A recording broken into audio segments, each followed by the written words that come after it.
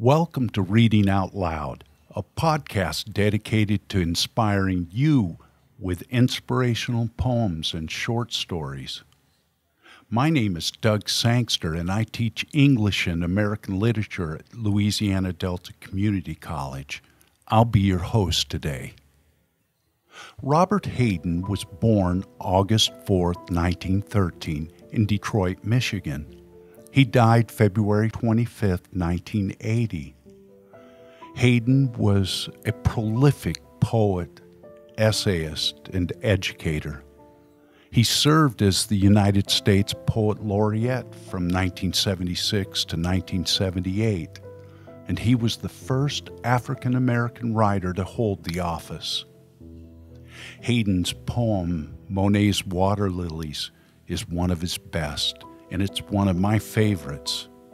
It speaks to the value of beautiful art, especially during stressful times of war and civil unrest. The narrator of the poem escapes the anxiety of everyday life to stand in front of Monet's famous painting, Water Lilies. As I read the lines from the poem, I want you to think with your heart and I want you to feel with your mind. Listen for words that evoke images of civil rights protest in Alabama and the bloody war in Vietnam. And then listen for words that calm and comfort the unsettled soul, the narrator of this poem. Monet's Water Lilies by Robert Hayden. Today, as the news from Selma and Saigon poisons the air like fallout, I come again to see the serene great picture that I love. Here, space and time exist in light. The eye, like the eye of faith, believes the seen the known dissolve in iridescence, become elusive flesh of light that was not, was, forever is. O oh, light beheld as through refracting tears, here is the aura of that world each of us has lost. Here is the shadow of its joy as you listened to those lines, did you hear what the light did to the narrator?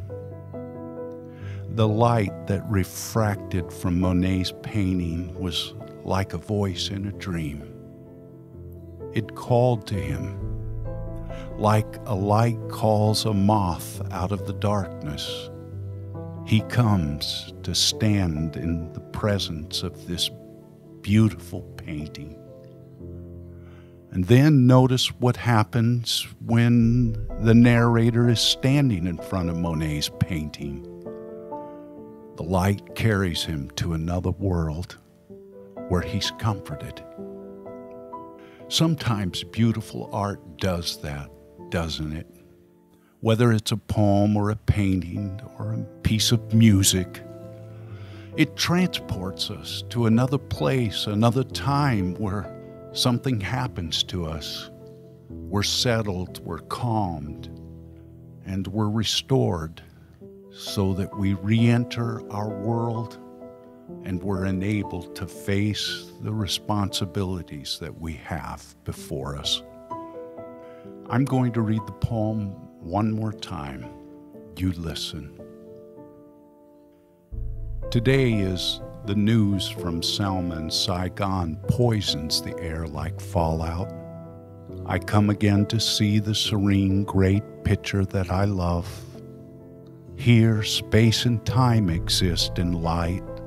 The eye, like the eye of faith, believes. The seen, the known, dissolve in iridescence, become elusive flesh of light that was not, was, forever is. O light beheld as through refracting tears. Here is the aura of that world each of us has lost. Here is the shadow of its joy.